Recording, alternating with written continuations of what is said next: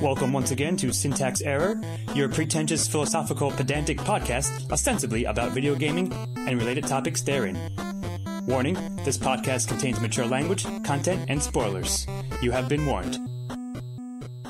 And welcome back to A Brief History of the End of Days. My name is Jonathan Ian Manser, and with me, Scott Thurla, Heyo. Sina Ramosi, We're back. and Christopher Morgan. How you doing? So, in the last episode, we discussed the meat of uh, space apocalypse. And now, we'd like to go into more of like a philosophical bent. The, the root of apocalypse is in prophecy. And truly, the prophecies of our time uh, is science fiction. And from Space Invaders to Interstellar, all have spoken to what we may face in the future. So I'd like to. Uh, this is going to be less of a kind of a structured format and more of an open forum to discussing this topic. So, uh, Scott, would you like to begin? You sure you really want that kind of format? I'm just kidding. Absolutely. Um, to ask me like what predictions precisely do I think are interesting or However you wish to take goes it. Well, I think of course as I sort of touched upon uh, last uh, episode on part one, is that it all depends upon basically the almost the, the Jungian subconscious zeitgeist of humanity, and also of course I would say the march of science, as I like to bring up a lot. Like you know, because technology advances almost faster than perhaps humanity. You can we can talk about you know futurism, etc., things like that, uh, which I think are relevant to this conversation. But because of the nature, in fact, of technology itself, that the predictions of even like maybe five years ago could some of them are outdated. Certainly, like some of the old like the, the Xeros kind of stuff that uh the fifties the the, the the the height of the fifties sixties like sci-fi like sort of rag magazines, if you will, you know, popular science like stuff like that. Um, all the things that uh, like Asimov was published in a number of things, etc. Heinlein too. You know, it, it's it's kind of jarring to go back and read some of that stuff. Yes, the stories are still good, but like the science it's based on is completely outdated at this point. So the predictions are going to be completely, you know, you, you can't. You know, the predictions are like by default, of course, going to be wrong. Well, I always love Some the, them. The world of tomorrow. Yeah, Um, sure, exactly, yeah, precisely. It's it's sort of something like that. Uh, Chris? Um, that's a good question. I had a thought, um, And like that, it was gone. and like that, it was gone. Uh, We're speaking of prophecy then. Or, per- uh, in a sense, how science fiction views the future and what our favorite. Or speculative fiction, Okay, as you like. yeah, to okay, yeah. With regard to speculative fiction, what what I, it's really funny because I don't think they get this science wrong. Like earlier, science wrong as as much like conceptually they get it right.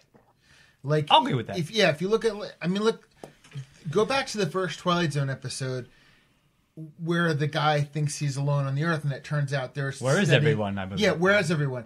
And basically, they knew right then and there, even though like all the other a lot of Twilight Zone episodes contradicted it. They knew it would have to, it would be like months between here and Mars. Um, but like you know, if you go to anything like obviously Star Star Wars or Star Trek again, um, or um, I don't know anyone of uh, speculative fiction that that's predicted the future. I don't think conceptually they're wrong. Um, I think they get the timetables wrong. Like somehow it's like That's sort of what I was going Yeah, with. we we got all these advances, and like you know, in the last fifteen years, I've had a phone that couldn't take a picture to a phone that's basically more powerful than the computer I had ten years ago. Um, But um, oh, was darn. I had some ideas, and I, I had some examples. I can't. I don't have them right now. Well, we'll get back to you then. Steve Um, I think I think what's interesting about this topic is kind of uh, viewing science as a harbinger, or science fiction, I guess, as a harbinger of the future, and uh, trying to take that. I think a lot of what science fiction does um, is looks at what's going on in its own present, and then just adds like wacky shit to it, basically, and, and Maybe. that's I think that's the I think a lot of the best stuff does that because that's the best way to do things because really the thing that's never going to change throughout your stories is the human component. You can add a ray gun and a you know a spaceship, hmm. and the people are still going to interact the same. And that's what's got to hit your readers or viewers or you know gamers first, and then they can be like, "Oh shit, that's a cool fucking ray gun," you know. Um, So you're saying sort of like secondary in that sense. yeah, I mean, they're The sci- themes are broad. Science fiction has the details are. science fiction or even you know uh projected science has promised a lot of things that it's failed on as much as the things that it's you know succeeded on Where are my flying cars, dude? Where are my fucking jetpacks you know you, you- can uh, hook yourself up to your drone and fly away. Um, but I wasn't necessarily talking about uh, like technological advances, as I was about how we philosophically deal with the unknown of the future. Uh, in a sense, you could take Star Wars, which deals with a lot of classical elements Sure. of uh, science fiction and adventure theories, and it, prevent, it presents you, even though it takes place a long, long whatever time ago, it's still a futuristic uh, society, and it shows you that for all the futurism, there's still the idea of politics. There's still good guys and bad guys. There's still uh, Star Trek dealt with kind of a fun-looking exploration. That the idea that like we have nothing to fear about the future. Yes, there are going to be challenges, and there are going to be, but it's about exploration. It's about having a sense of adventure. Um, Battlestar Galactica dealt with um, the the uh, universe where you're alone, but and our own uh, ingenuity destroys us.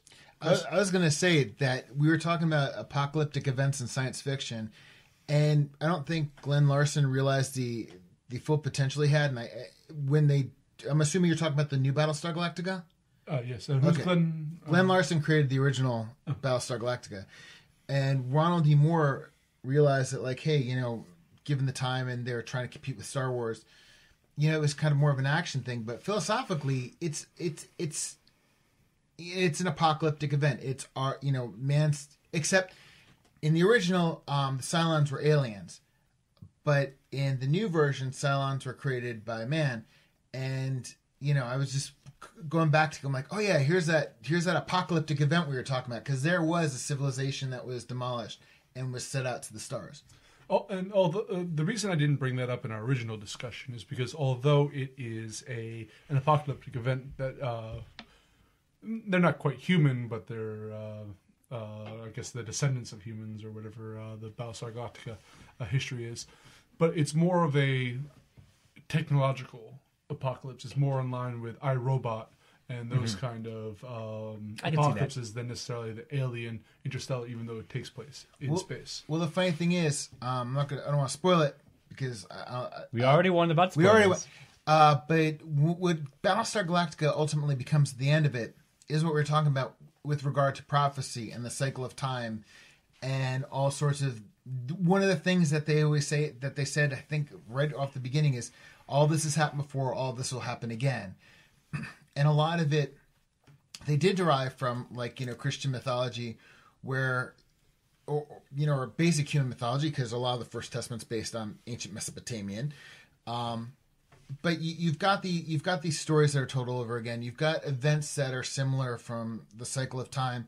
So I, when we're talking about you know um, cycles and we're talking about prophecy and we're talking about apocalyptic events, Battlestar Galactica is another example of something that in in this frame you can talk about politics, society, religion, um, and getting back to what science fiction does best, what science fiction has always done, is be able to discuss issues you cannot discuss in public. I mean, uh, Beth and I, Otherwise, without the media, without Yeah. filter through that genre. Beth and I rewatched the original series a couple years ago, and there's one part I can't remember was Kirk or McCoy was talking to some one of the guys because they're an overpopulated planet and they were actually going to introduce a disease into it voluntarily so that members of the society would die off. They'd volunteer to die off so the greater good could live.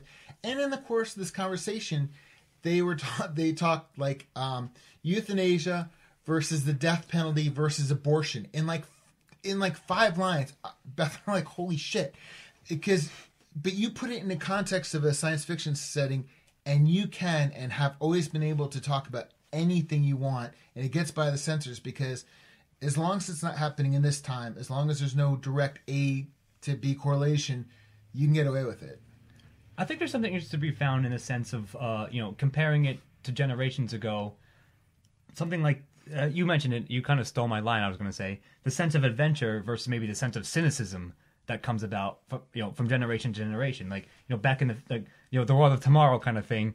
It was a great, you know, a grand sense of humanity. will go out and conquer, and not even conquer, just explore and you know enlighten themselves. Now it's more like we're probably fucked. Like you know, the, the weird kind of zeitgeist thing again about that, like what pop culture mentality seems to sway like what's informed by these like what these works are informed by that kind of mentality and, and vision and mindset uh, uh, from you know from generation to generation within sci-fi Well, actually, it's interesting you said that because one of the topics I wanted to bring up was um, how science fiction has developed through the years, how it's changed in the messages. So I, I do agree that there is a part of uh, science fiction that really speaks to current issues. Um, and uh, even equally, maybe even more, perhaps depending on the series, to the idea of speculation about the future. Um, I just lost my train of thought. Um, uh, got sucked out by the aliens Scott, what was the topic you just brought up before that? Um, sense of uh, cynicism versus optimism yeah, sort of? how how uh, now I'm not very qualified to speak of this as I've had uh, brief um, uh, touches with science fiction throughout the years. But how has science fiction changed throughout your experiences? Um, well, I, I can I can speak that a little bit. I mean, like the, my first uh, jump into science fiction. and Now I, I I'm gonna just talk about space science fiction because you can talk about all different kinds of things. Like I read Jurassic Park when I was in like fourth grade, but that doesn't really that's not really on topic so much. Um, but probably Ender's Game is the first book that I remember being sci-fi, and that was like a, solidifying your sense of sci-fi Right, and that was you know written in the '80s or '70s. I think it was started in the '70s and came out in the '80s. 78 let's I, I don't it. remember. Anyway, um, that b- book was all about humans, you know, conquering all and like, but it touched upon the theme of like whether or not that was the best thing for everybody, and uh, you know, probably came down a little bit on the side of probably not. Um, you know, I, I saw Star Wars when I was pretty young. That was another like you know, the human spirit is gonna conquer and like the you know, prevails of course a lot more lately you've been seeing movies like uh interstellar where it's like you know uh, i actually won't spoil this one because i know a couple of you guys haven't seen it yet and Yeah, are feel looking free. forward to it but you know that's more of like a it's more of a downer in terms of what's going on in, in humanity That's kind of what I was saying: cynicism versus optimism. You know, Right. Sci-fi informs itself through those. i think you i think you are definitely seeing more cynicism these days than than you used to in sci-fi uh, one of the things I loved about Interstellar, and I got right away, and uh, with with regard to the soundtrack to the to everything, it, it is definitely the main influence was 2001, and I think Interstellar and 2001, about all the comparisons I can put between them and all the ways they succeed, I think the one thing they do have in common is the fact that they simultaneously get are cynical and optimistic. Hmm. like that's they, interesting. They they combine perfectly. Um, they slice a through both. Yeah, a sense of renewal Mm. uh, that the humanity will survive. That there's things beyond us that we know, but also there's things about it that, in various aspects of the story, in various times, man has ultimately fucked himself. Whether it's we're talking about a two man crew with four hibernating scientists or a civilization. Like I said, both films do a really good job of being both optimistic and pessimistic at the same time. That's true. I, I agree with that. That's sort of like you know, it's more nuanced in that sense. Like it's it's. I was sort of filtering through a dichotomy, like either you're one or the other. you Right. know. But that's true. You can take slices of both and sort of have a like combination of them to filter through. But I want to remember something interesting. You guys might remember it again, vi- viewed through tropes. It's sort of like another dichotomy, but we can explore. It's either humans are bastards or the aliens are bastards. Like in that sense, right? Like aliens, like eh, I'll, I'll filter also a, a subtext through Twilight Zone, which is my favorite things ever to exist, and I'll bring it back to something that you got Ian, I think you touched on earlier.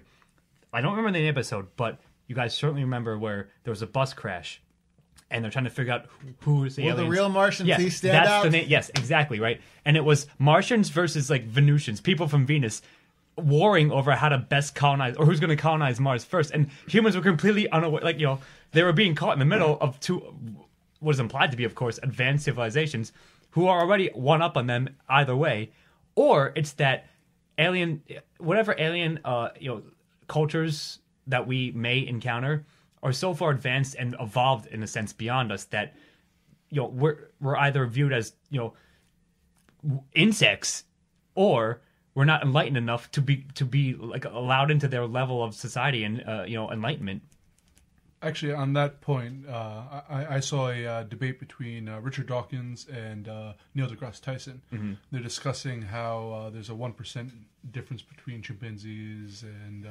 humans, Sure. and that we parade out the greatest of the chimpanzees, those who can learn a little bit of sign language, can do small tasks. aliens would do the same thing with us uh, of course Like, parade out Stephen Hawking, who's able to do uh, quantum uh, mechanics in his head, Calculations, sure. calculations, while like oh, like our toddlers can. Um, Yeah, and like that's a running theme. I would say going back to like you know the history of it, even that has flowed in and out of many science fiction works.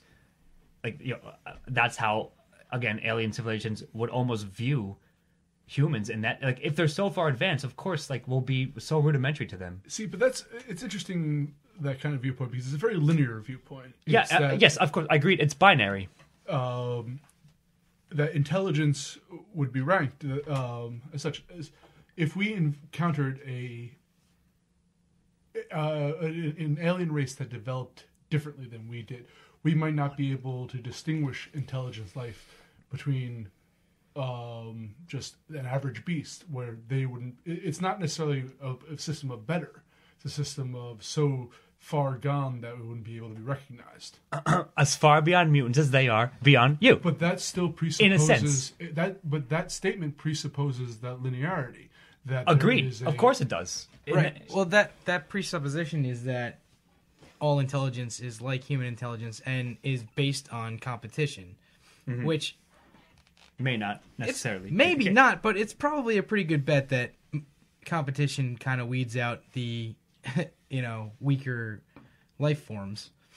Um, it's kind of a it's kind of a big deal here on Earth anyway. I don't know about you know other planets, but I was going to say this. This I, I don't remember if it was this podcast or the last one. We were talking about um, colonialism. We were talking about um, you know um, empires and so forth. Where this is basically what happens.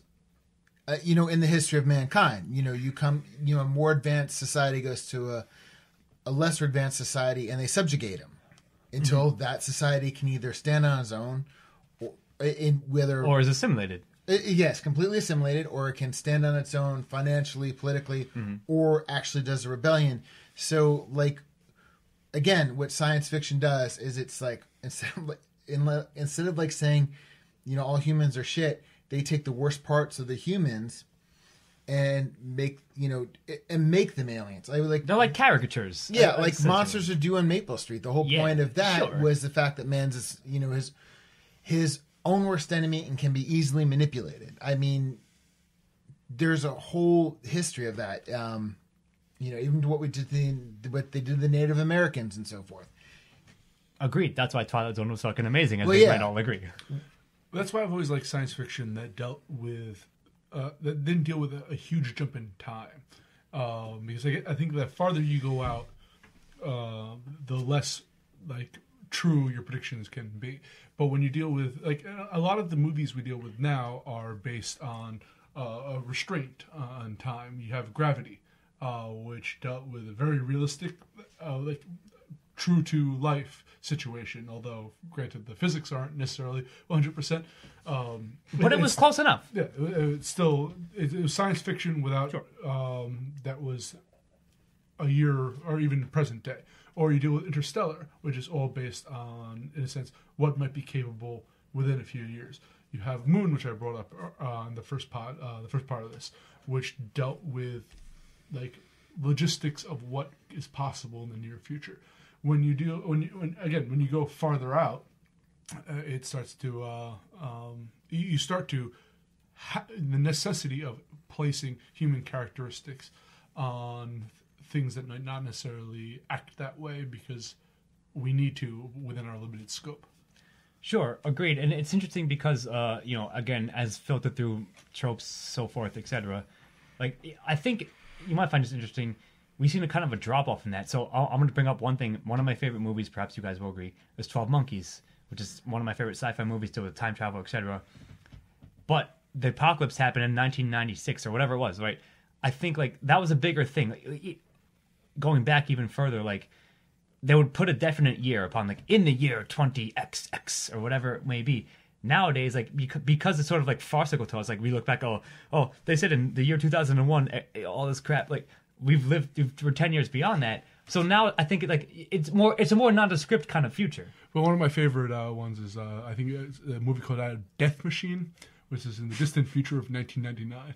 So uh, yeah well again yeah of course that's what 12 monkeys are again like but you've seen a lot of that but i think it's more dropped off because it's again it's become like a sort of a meta-ly known thing unto itself that you shouldn't assign a year just make it nondescript and that somehow becomes more effective because it could be any year and in the near future We're in we're in the year of Back to the Future right now. yeah that's true yeah and where's my fucking self-zipping jacket drying jacket etc I I was gonna say what what I thought was funny was Beth and I were discussing this because in the Star Trek universe in the '90s you had the eugenics wars. Basically, Mm-hmm. all these, you know, people, they, you know, all these um, genetically enhanced, genetically created human beings, Modified, yeah. yeah, uh, you know, basically, basically took over the world in various aspects and were overthrown and so forth. And I'm like thinking, well, that was supposed to happen in the 90s, and in the 90s, we're arguing over stem cells. I mean, it's just like, yeah, we technically do have the capability of, um, we definitely do have the capability of, you know, going there, doing something with regard to eugenics. But the cool thing that that's optimistic about society is that for one reason or another, everybody's finding an issue with we're dealing with the morality of the situation, whether it's stem cells, whether or not you agree with that, um, whether or not like, well, if you see, if you can tell that your child is going to uh, be gay or have Down syndrome, you know, will you abort it or will you change that person? And and I think it's really, I think it's really funny that in, in some science fiction, even positive science fiction like Star Trek, they've already taken a negative spin on it. Where in reality, it's just like, yeah, we're not there yet, fortunately, because we're still arguing over the basest issues. And I think, sort of the ethics of some of yeah, this and I think that's kind of a good statement on today. Uh, even more, you have a number of um, uh, films that deal with cloning. Um, uh, you have again, I hate to keep bringing this up. Moon dealt uh, heavily Yeah. with cloning. Uh, the Arnold Schwarzenegger flick Six it's Day. one of the best ones that did it I, I think yeah sure. With Steve-O's uh, Jurassic Park, Jurassic Park is Frankenstein with clones. I mean, is cloning Frankenstein essentially on a bigger scale?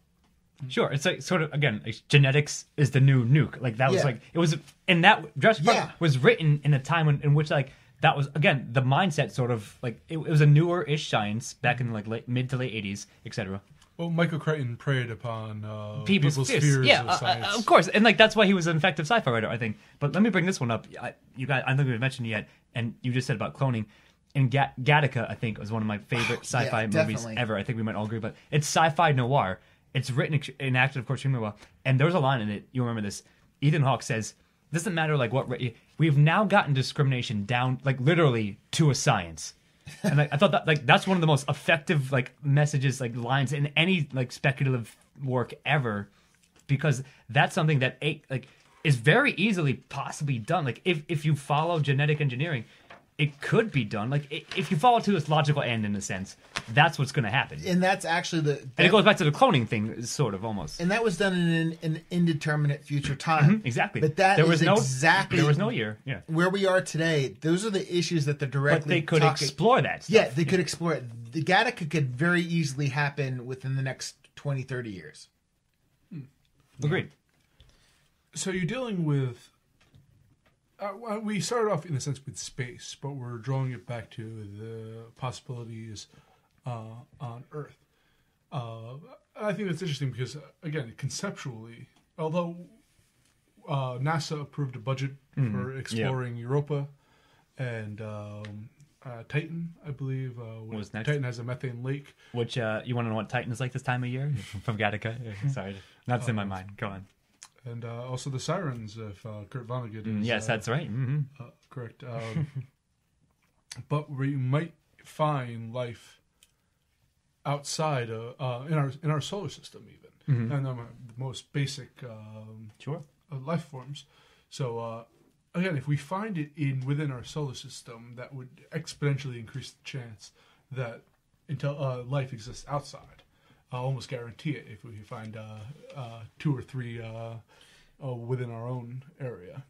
I was gonna say that's the funny thing is because there's definitely I mean there's alien life on this planet that we like this sil- we have silicon based creatures at the bottom of the We're of still discovering core. life that yeah. we didn't even know about. Yeah. Yeah, so what I'm saying is everybody always ex- On the says is there life in the universe, and this is like they always figure it to be some like carbon based life forms is equal to intelligence when that may very not be the case. It's just that a lot of aliens, you know, the basic human can't really conceive of what an alien would be like. Actually, one of the most interesting questions was whether the life we find on other planets will have, be DNA based.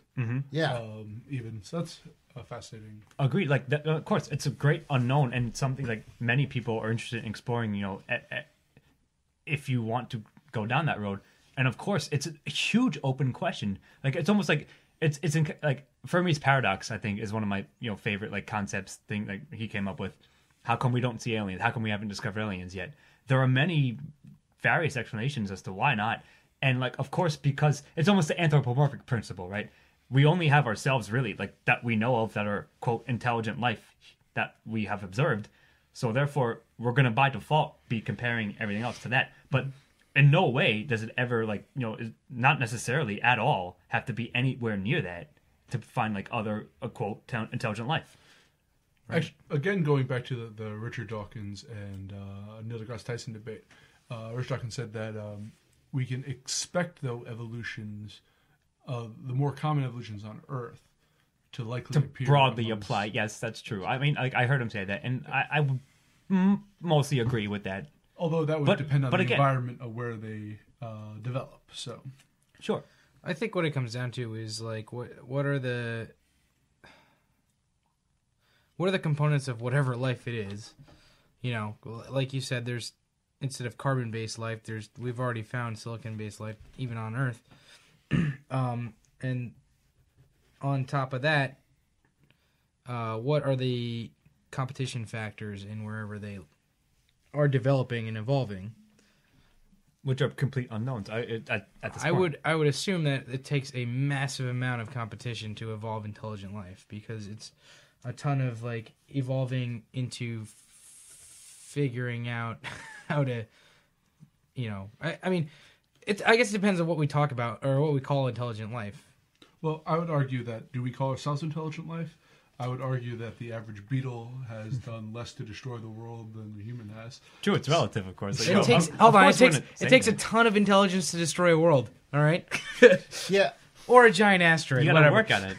So we're more in common with the asteroid than we do with Right. the base. Uh, I, I mean, I was just gonna say, like, everything we're discussing, like from genetics to intelligence.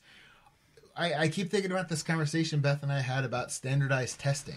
That, in a sense, like on a on a non genetic level, on like a like a uh, on a not on a non species within species, in our species, humans are trying to set the standard for what intelligent is. They are trying to quantify it. They're trying to quantify Their own intelligence. and they can't. And that's the paradox because Who's the arbiter of that? Of course. Right, exactly. I you can. I, I have. I had a friend in high school. Who decides who is and who is not eh, acceptable, intelligent, or not? Of course. Yeah, I I knew a girl in high school who was in you know was taking college math and science when she was in tenth grade.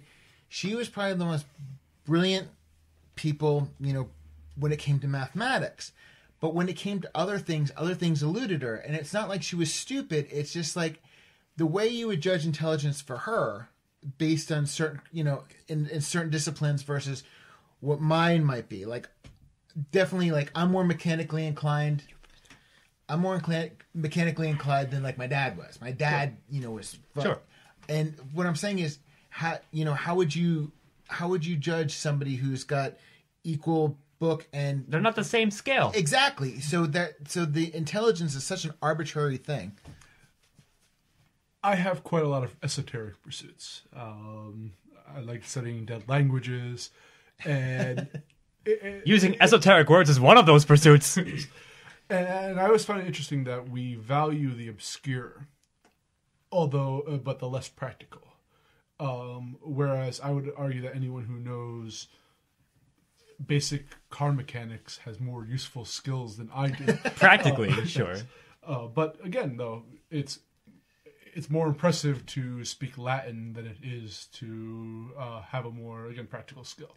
Sure, uh, I'll bring it back. There's a line in Twelve Monkeys, you guys may recall, where uh, Dr. Railly says, "Psychologists are the new. We decide who is sane and insane. Like, w- yo, We're the new religion. yeah, exactly. That's exactly what they say, and it, it it's broadly applied to everything you guys were just saying. You know, like there there's no. How do we decide who is the arbiter of that? You know, it's very bizarre kind of decision. As you said, it's a paradox. I'm going to bring this back to the topic at hand, though. It's- it's- we kind of went on a tangent. It's you know, un- immovable object meets you know, unstoppable force. In science fiction, how does how do they define intelligence?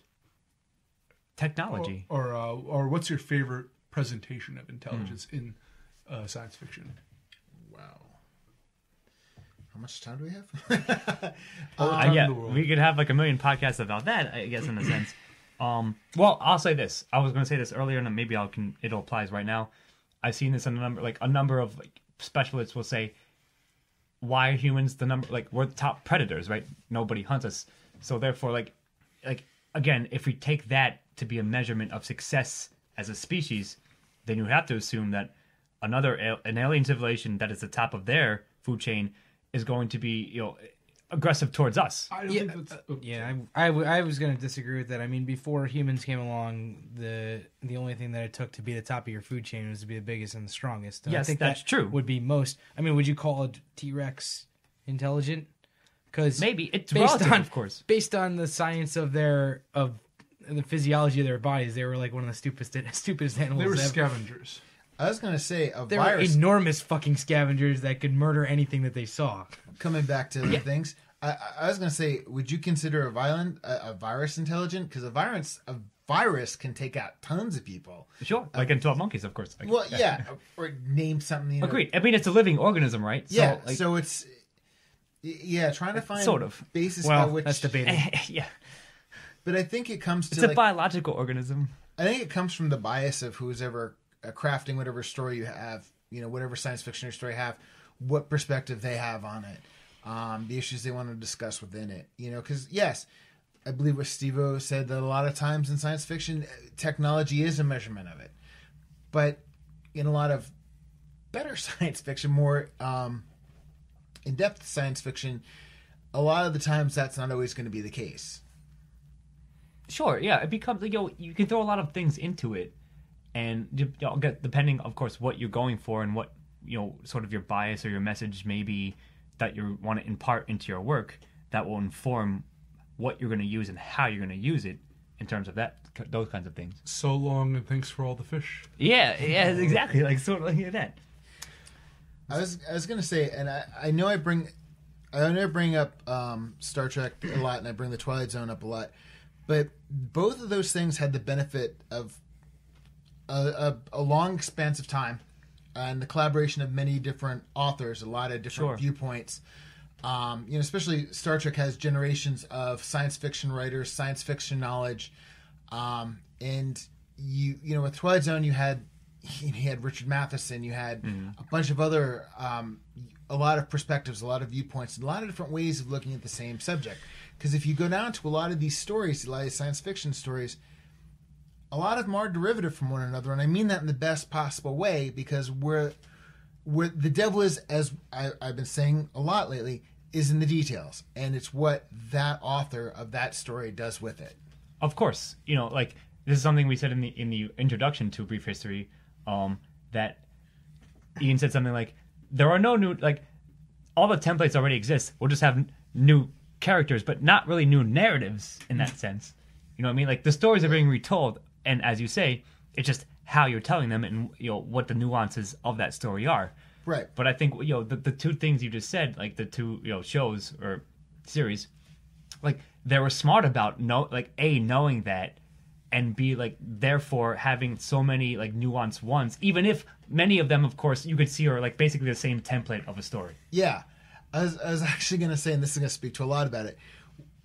I remember three things on TV, like three shows, not just commercials, but three shows watching when I was a kid between two and three. It was the um, I saw Dolphins Jets game, and that's how I became a fan, Dolphins fan.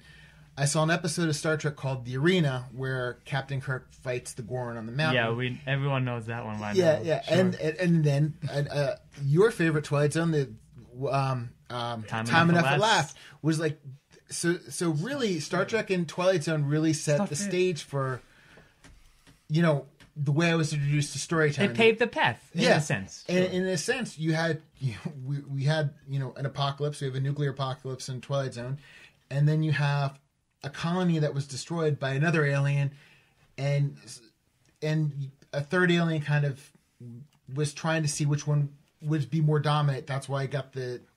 That's why I got Kirk and the Gorn on the planet to see, you know, want them to iron out the the thing. So it, it's really funny. In two shows, I got a lot of the topics we were talking about: colonialism, you know, Armageddon. You know, it's Sure, they covered a lot, and be- Yeah. be- because they like again, they they knew even though there's like a very sort of like narrow range sort of templates etc to use, but the way they cut them each up, like again, it's depending what message you want to go for, what what issues in society you want to explore, filtered through those kinds of you know viewpoints. Even if it you know it was speculative fiction, of course. However, the issues they were touching upon and exploring, the characters they were meant to represent, were very real issues, and each of which had a possibly different message, possibly like opposing messages sometimes. Okay, so we talked about science fiction a lot, and you had mentioned earlier in Star Trek had a eugenics war. yeah, mm-hmm. Fallout had a resource war. Mm-hmm. Which is sort of like broadly indicative of apocalypse stories, I would say, or it's a thing that's used a lot. Just as an aside, What do you think is the most likely future?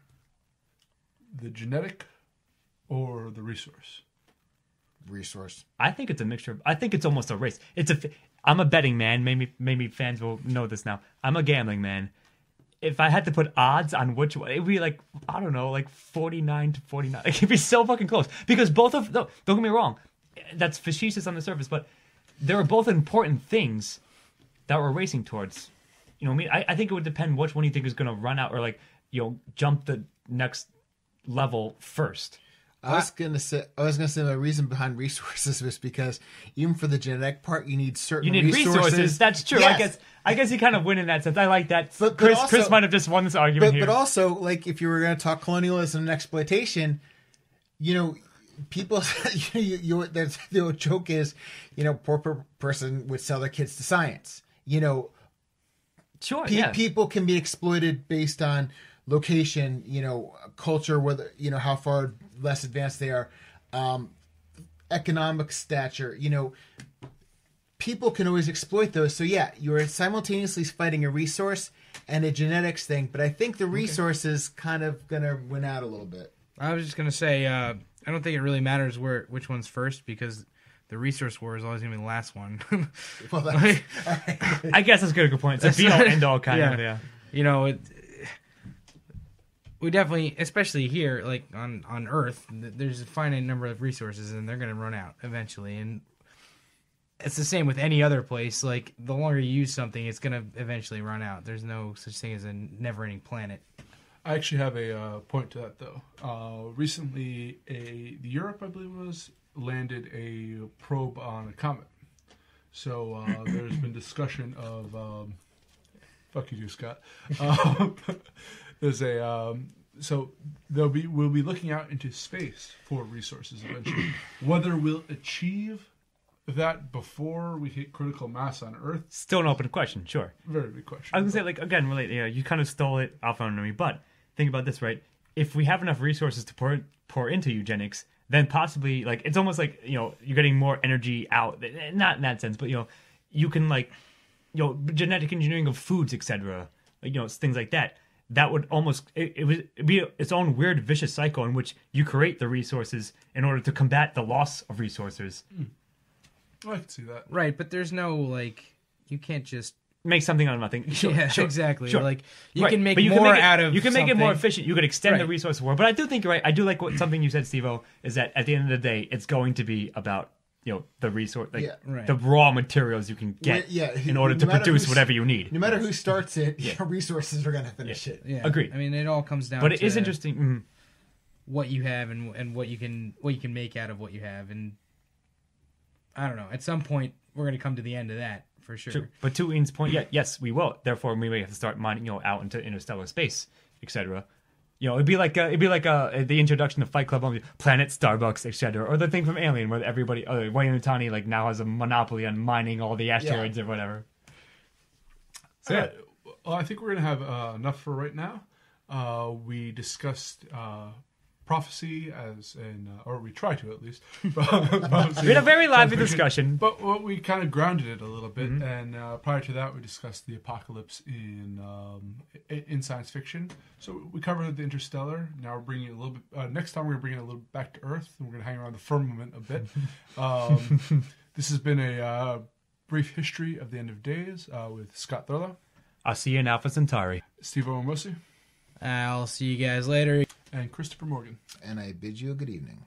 I'm uh, Jonathan E. Manzi, and uh, we're signing off. Have a good night. This has been Syntax Error. Thank you as always for listening, and we will see you next time. Music by Stephen Hermosi, editing and engineering by Chris Morgan. Syntax Error is part of a Lost Signals Productions, all rights reserved.